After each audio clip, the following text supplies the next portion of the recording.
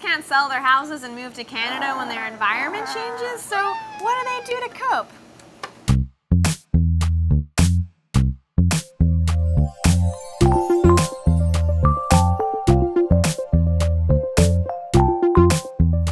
Welcome back to Science in Real Life. I'm Molly, and we're at the University of Illinois at Urbana-Champaign with our super special guest, Amy Marshall Colon, and she's an assistant professor in the Department of Plant Biology. Hello, welcome. Amy studies plant metabolism, and that means that she studies the chemicals that plants make and break down over the course of their lives. Plants can't run away from stresses in their environment like a drought or a predator eating them or massive student loan debt, so they have to make use of their metabolism to respond to these stresses instead. And my lab in particular studies how plants respond to low nitrogen nutrition. Nitrogen is one of the most essential elements for plant growth and development. Most of the world's soils have very low nitrogen fertility. Farmers don't have the money available to buy these expensive inorganic fertilizers. So really what we would like to do is to better understand nitrogen uptake and assimilation so that we can figure out how to make plants more efficient at taking up the nitrogen that's available to them. My lab uses a technique called metabolite profiling to help us understand gene function. And metabolites are anything from amino acids to organic acids, fatty acids, lipids, sugars, and the volatiles that you smell if you're smelling a bouquet of flowers. So plants with two different genotypes might respond to the same stress differently, which would then show up in their metabolite profile. That's right. And since we're interested in nitrogen metabolism, we profile amino acids because they all have nitrogen molecules in their structure. So today I'm going to show you how to extract amino acid metabolites from plant tissue and then profile them using a gas chromatogram mass spectrometer or GCMS. You're probably familiar with GCMS already. It's the machine in crime shows that always saves the day by identifying a weird speck of chemical that ties the murderer to the victim. So now we're going to extract some amino acids as well as some other metabolites from leaf tissue from two different Arabidopsis genotypes. What we're going to do is grab a leaf, a nice big juicy leaf off of these plants, and we're going to put them into these pre-weighed tubes that contain methanol. So it's really important when we're quantifying amino acids that we know how much does that sample weigh. So these are two different genotypes and they might have the same amino acids but in different quantities. And it's going to take a while for this methanol to extract all of the metabolites from these samples. But this is all of the metabolites that are in that sample and we're really interested in the amino acids. So we can take it a step further and do what's called a phase separation so that we can separate out different kinds of metabolites based on their chemistry. We're going to add chloroform and water to our sample in methanol. And we're doing that in the hood because chloroform will make you pass out.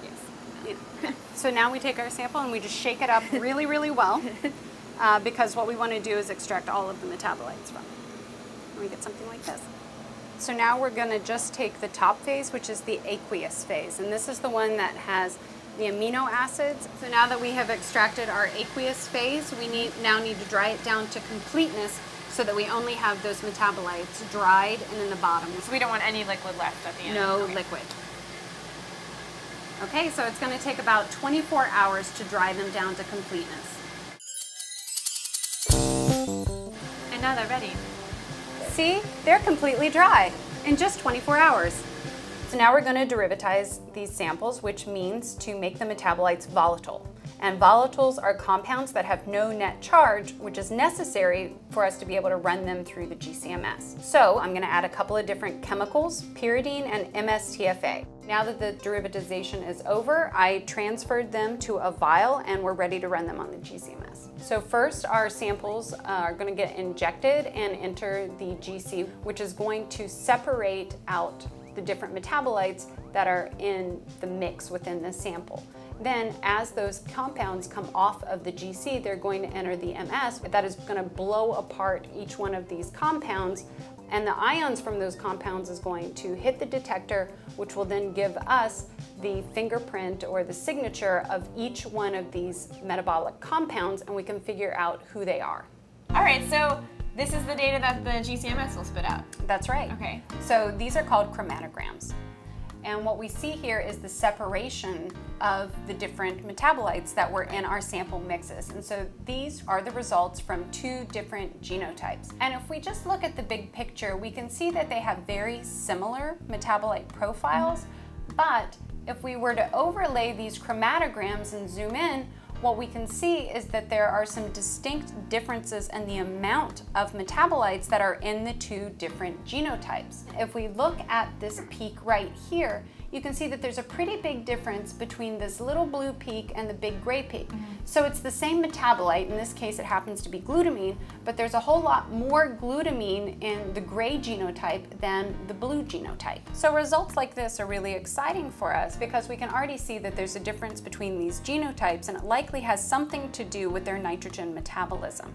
And so we can use this information to further look into what genes are driving this molecular phenotype that we've observed through our metabolite profiling. Oh, that's so cool. So you could potentially figure out if the, like one of those plants is more efficient at using nitrogen or like is better at breaking it down or something like that. That's right. Oh, very cool.